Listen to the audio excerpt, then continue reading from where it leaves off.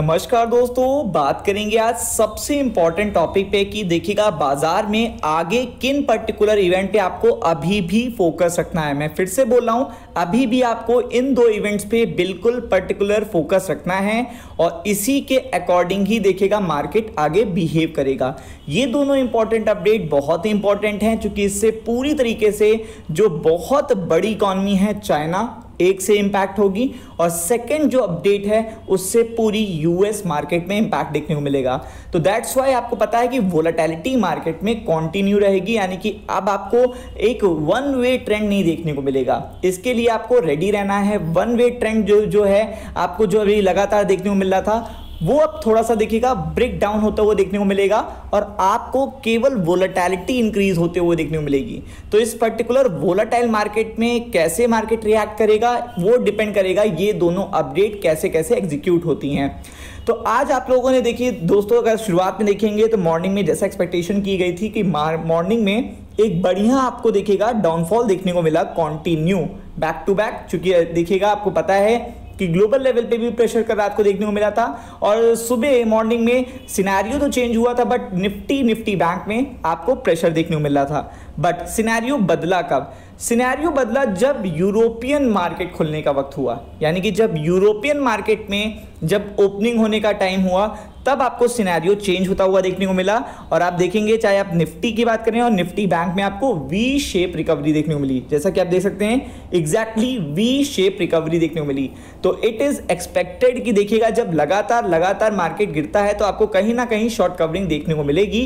But आने वाले session में आपको दो बड़े अपडेट जो कि आपको एक तो देखने को मिलेगा विद इन टू डेज़ में और एक आपको कभी भी एक्सपेक्टेशन कोई स्टेटमेंट देखने को मिलता है तो उससे चाइना का बाज़ार पूरी तरीके से इंपैक्ट होगा और चाइना के रिएक्शन से पूरे एशियन मार्केट में रिएक्शन देखने को मिलता है। तो पहला अपडेट मैं आपके साथ डिस्कस करना चाहूँगा कि देखिएगा, जो चाइना में देखिएगा, जो इतनी बड़ी बिकवाली देखने को मिली थी, वो बिकवाली इसलिए भी इंपॉर्टेंट है क्योंकि इससे पूरी तरीके से चाइना की जो टू परसेंट की जीडीपी यानी कि दो परसेंट की जो जीडीपी है, वो सीधा सीधा इंपैक्ट होगी।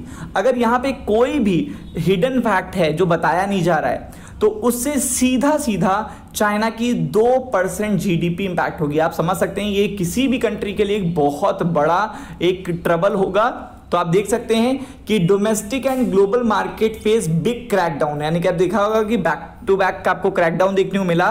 तो यहाँ पर सबसे इंपॉर्टेंट है चाइनाज एवर ग्रैंडे यानी कि ये जो कंपनी है, जो डेवलपर है, ये जो ग्रुप है, वो चाइना की second largest real estate group हैं और अब इनको थोड़ा सा ट्रबल फेस करना पड़ रहा है। और इनको अगर कोई ट्रबल होता है तो यानी कि चाइना की जीडीपी पे भी बहुत बड़ा ट्रबल देखने को मिल सकता है। तो आप देख सकते हैं यहाँ पर कि यहाँ पर पूरी तरीके से कि जो यूरोपियन मार्केट है, वो भी आपको क्रैकडाउन होते हुए देखने मिले थे। डाउ फ्यूचर्स भी क्रैकडाउन होते हुए देखने को मिले थे। डाउ जोन्स भी कल क्रैकडाउन होते हुए देखने को मिले थे। This fall was due to China's second biggest real estate developer Evergrande is in big trouble अब ये बिग ट्रबल में क्या है? इनने बहुत बड़ी फंडिंग ले रखी है, देखिएगा, बहुत बड़ी फंडिंग ले रखी है। और अगर ये इसको चुका नहीं पाते हैं तो इंटरेस्ट बैक टू बैक बढ़ता चला जा रहा है और इसमें डिफ़ॉल्ट के क्राइसिस बढ़ते जा रहे हैं। अगर डिफ़ॉल्ट हो जाता है तो इससे बहुत बड़ा ट्रबल में आ जाएगा चाइना का जीडीपी तो आप देख सकते हैं details about the reality developer Evergrande he said that the company was facing default issue यहाँ पे देखिएगा आप डिफ़ॉल्ट इशू फेस कर रहे हैं। और डिफ़ॉल्ट इशू बहुत बड़ी चीज़ होती है। क्योंकि ऐसा तो बिल्कुल भी पॉसिबल नहीं है कि पूरी तरीके से अपनी चीज़ों को बेटर कर लेंगे। यहाँ पे कहीं ना कहीं चीज़ें बनी रहेंगी और इसके स्टेटमेंट आपको देखते हुए देखने को मिलेंगे।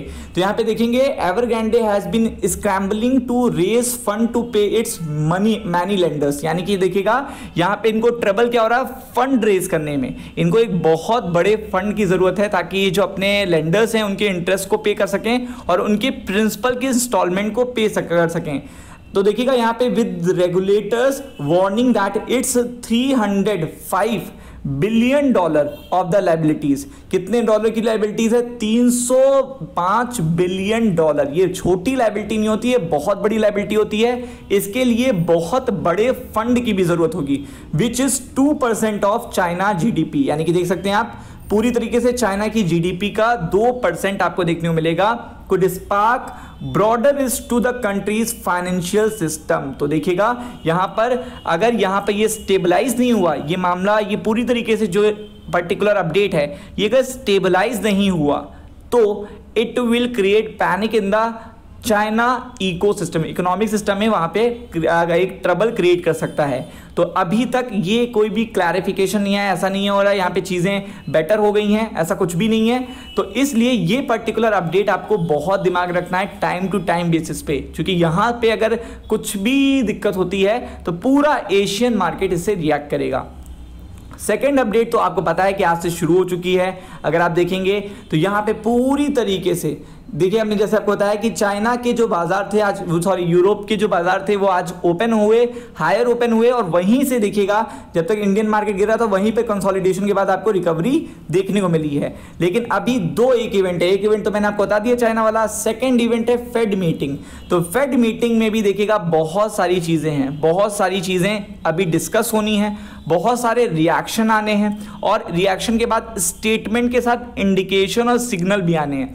तो वो चीज़ बहुत ही इंपॉर्टेंट है but on the basis of this कि अगर आप देखेंगे यूरोपियन मार्केट ने रिएक्ट करा है, जिसको इंडियन ट्रेंड्स ने और देखिएगा यूएस ट्रेंड ने फॉलो करा है। अब क्या चीज़ें हैं? The rebound for the European stocks comes after market got off to a poor start to the week यानी कि आपको पता है कि बहुत बड़ी गिरावट थी, जिसके बेसिस पे आपको चीज़ें देखने को मिली, लेकिन बट स्टिल आपको पता है, अभी ये दोनों पर्टिकुलर जो ट्रबल हैं, वो अभी भी बने हुए हैं मार्केट में। तो अभी एफ़ की जो मीटिंग है, वो आज स्टार्ट हो चुकी है और आपको पता है दो दिन में उसका आउटकम आएगा। तो within two days market फिर से रिएक्ट करेगी वोलाटाइल रहेगी अप एंड डाउन रहेगी। अगर आप बात करेंगे यहाँ पर तो सबसे इंपॉर्टेंट क्या है कि देखिएगा अभी जो US ten year bond yield है, वो भी अभी आपको अप देखने को मिल रहा है। तो सिचुएशन देखिएगा जब इतनी बड़ी गिरावट होती है तो देखिएगा मार्केट में रिकवरी आती है शॉर्ट कवरिंग बट जो भी पर्टिकुलर अपडेट है इन पे भी हमें फोकस रहना है, आगे चल के। क्योंकि ये इवेंट बहुत ही इंपॉर्टेंट है और इन इवेंट का क्लैरिफिकेशन ज़्यादा दिनों में नहीं आना है विद इन टू डेज़ में देखने को मिलेगा। और चाइना का भी क्या रिएक्शन है, वो भी आपको डे टू डे बेसिस पे देखने को मिलता रहेगा। तो इसीलिए you have to be alert in the market ऐसी जगह पे इन्वेस्टमेंट करिए जहाँ पर आपके रिटर्न के चांसेस बहुत ज़्यादा हो स्टॉक्स बहुत ही अंडर वैल्यूड हो। Thank you so much